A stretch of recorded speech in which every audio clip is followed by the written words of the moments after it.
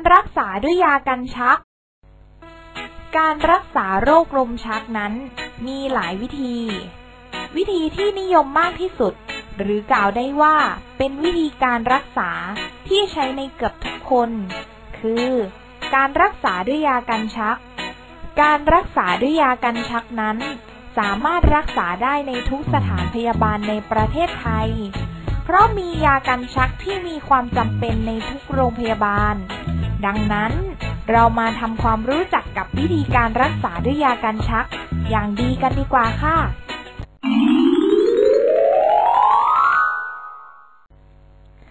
การทานยากันชักที่ถูกต้อง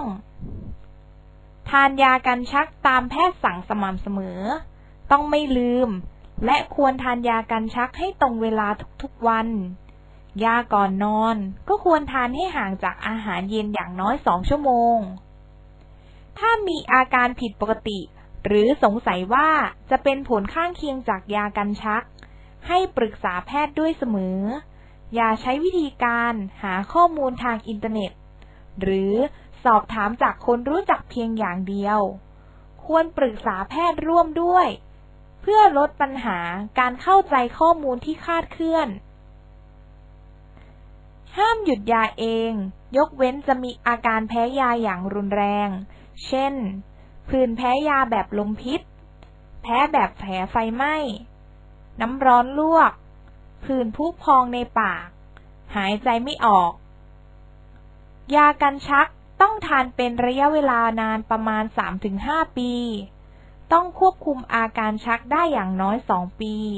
แล้วแพทย์จะค่อยๆ ลดยากันชักลงอย่างช้าๆ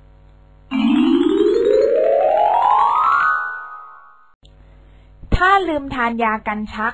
ควรทำอย่างไร กรณีทานยากันชักวันละครั้งก่อนนอน ตื่นเช้าวันต่อมา นึกออกว่าลืมทานยาก่อนนอนเมื่อคืนที่ผ่านมา ก็ให้นำยาของเมื่อคืนที่ผ่านมา และไม่ได้ทานมาทานได้เลย และของวันนี้ก็ทานก่อนนอนตามปกติ แต่ถ้านึกออกตอนบ่ายๆของวันต่อมา ก็ให้นำยาก่อนนอนของวันนี้ วันที่นึกออกวันปัจจุบัน มาทานได้เลย โดยไม่ต้องรอให้ถึงเวลาก่อนนอน และไม่ต้องนำยาก่อนนอนของวันก่อนที่ลืมมาทานเป็นสองเท่า กรณีทานยากันชักวันละหลายครั้ง ถ้าลืมทานแล้วนึกออกได้เร็ว หลังเวลาที่ต้องทานไปไม่นาน ก็ให้รีบทานยาที่ลืมทันที แต่ถ้านึกออกหลังจากลืมไปนาน และใกล้กับมื้อถัดไป ก็ให้รีบนำยาที่ต้องทานในมื้อต่อไปมาทานแทนได้เลย ไม่ต้องเพิ่มขนาดยาเป็นสองเท่านะคะ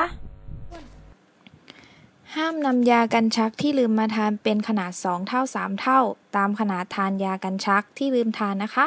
เพราะจะทำให้เกิดอันตราย